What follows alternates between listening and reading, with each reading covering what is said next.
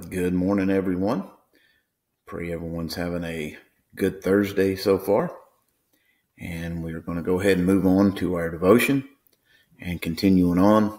I felt I should do a, a cheer or something after Brother Andrew came out doing jumping jacks and, and exercising yesterday in his devotion. Uh, I chuckled a little bit at that.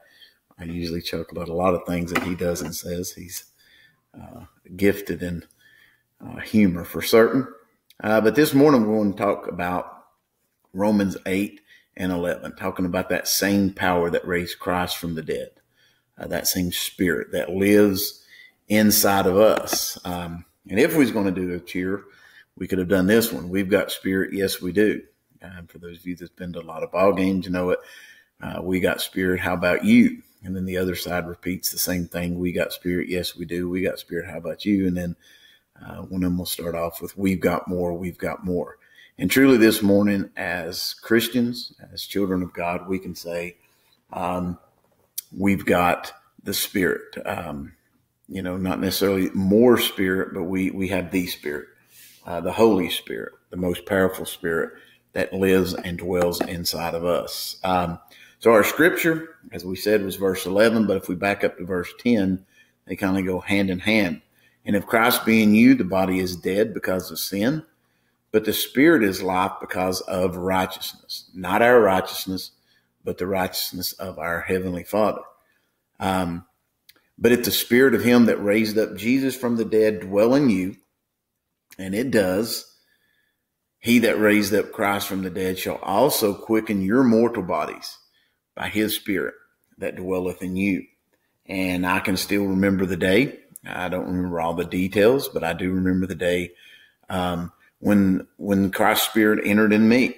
I was at a revival, and I was a, a young, rambunctious one uh, that didn't like to sit in a pew, but was at a revival. I think it was on a Thursday night at Estherville Free Will Baptist um, when God spoke to me, and I went to the altar, and, and at that point in time, um, you know, this old mortal body. And as an 11 year old, don't think, didn't think a whole lot about dying or anything and didn't feel many aches and pains and things like that. Um, but even then, uh, from the time we're born, our bodies, you know, are growing older and these mortal bodies will pass away. But the spirit, that spirit came and lived in me. Um, and, and it's a new spirit each and every day. It gives me newness of life. Uh, and, and, when you cross reference Romans 8, 10, and 11, my Bible took me to Romans 6, 4 uh, through 6. It says, Therefore, we are buried with him by baptism into death, that like as Christ was raised from the dead by the glory of the Father, even so we also should walk in a newness of life. For if we have been planted together in the likeness of his death, we shall be also in the likeness of his resurrection, knowing that our old man is crucified with him, that our body of sin might be destroyed, that henceforth we should not serve sin. So we are no longer slaves to sin. And we'll come back to those verses here in just a minute. Um, one more verse of scripture that we've got here from Corinthians, Second Corinthians 5. And verse 1 says, For we know that if our earthly house of this tabernacle were dissolved, we have a building of God, a house not made with hands, eternal in the heavens. Verse 2 For in this we groan earnestly, desiring to be clothed upon with our house which is from heaven. If so, be that being clothed, we shall not be found naked. For we that are in this tabernacle do groan, being burdened, not for that we should be unclothed, but clothed upon, that mortality might be swallowed up in life. And so, talking about these mortal bodies that we live in, uh, that word tabernacle there is um, could be interpreted as tent. Okay, and obviously, a tent is not a permanent dwelling place. Um, you know tents are going to fade away much quicker uh, than a house would. And um, that's what we're referenced to. That these lives that we live, it says life is but a vapor. We're here for a while, uh, and, and then life is gone. And it says, but we groan, we we we desire to have a building, a permanent house, um, not made with human hands, but one that is eternal in the heavens. Um, and you know, I guess the older we get, the more uh, our groanings, um, I guess, become more common. I definitely know that I groan more, not necessarily about being uh, grouchy. My wife may disagree with that, but just groan because, again, things that we once did and didn't really bother us, um, you know, it's we can feel a little bit more um, aches and pains, and, and we groan a little bit because why?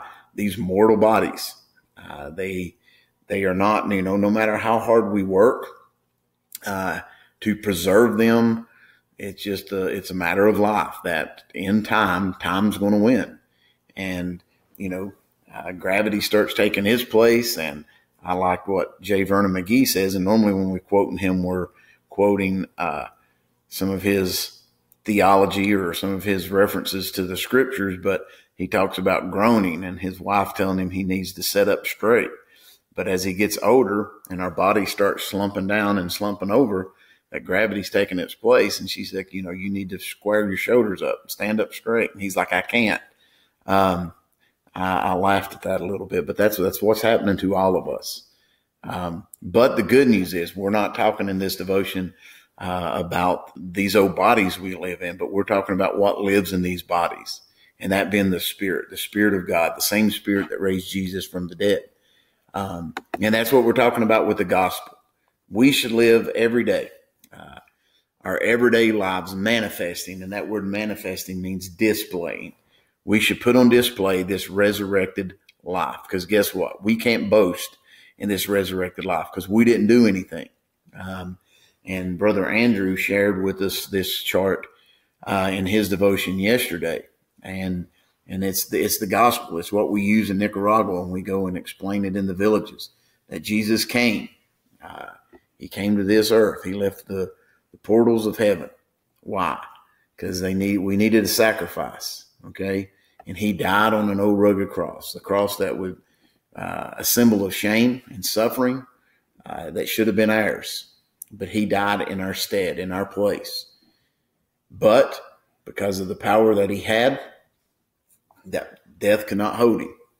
Uh, he was in the grave for three days, but after that, he rose again and he ascended to heaven. And that's where he's at right now.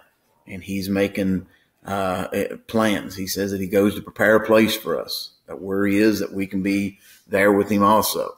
Um, and, and, now we're and we're anticipating this here. Here's where the groaning comes in.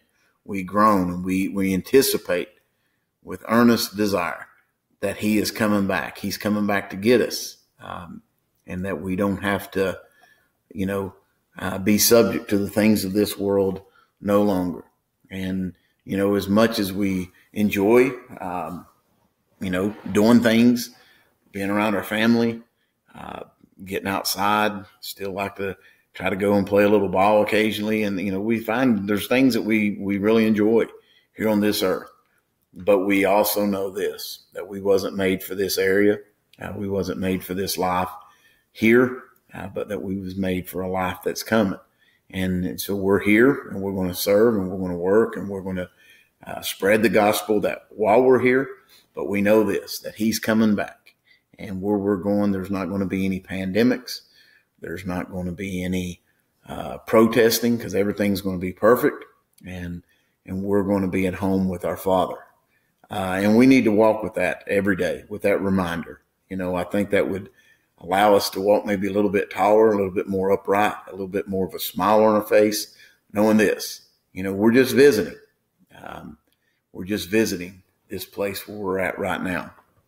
Um, but we talked about baptism, and that means to immerse or to identify with. And Pastor does a very good job every time that we've had the privilege of uh, baptizing new converts, that they are identifying with Christ. That when we go and we immerse in the water, um, we are symbolizing the death of Christ. And then when we are raised up to, to a newness of life, we take on a new body and um, a new identity. And that's what Paul is reminding the Romans of here. And he's also reminding us of in those verses that I shared with you uh, in Romans 6. Um, in verse 4, we get the gospel. Okay.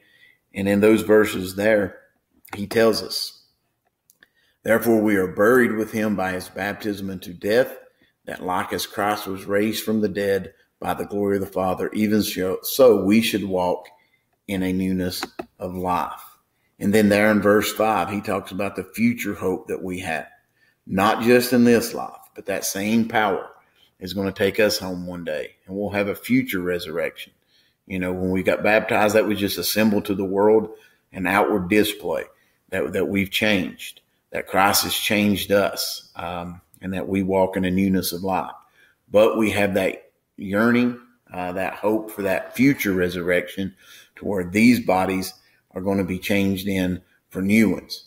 And verse six, uh, and the promise of a new life.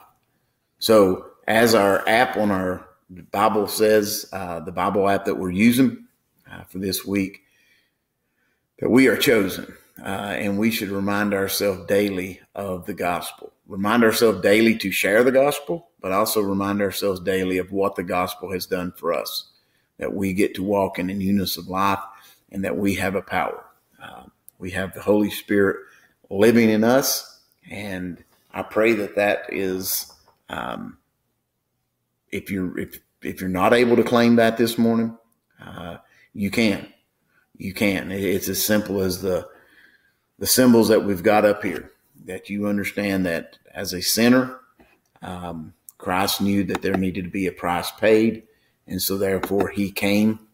Uh, he left the perfections of heaven and came to dwell in this sinful world, but yet He was without sin, became the perfect Lamb, the un, the unblemished sacrifice that died on the cross for your sins, for my sins he arose, and that's what separates Christianity from other religions. Our God's still alive.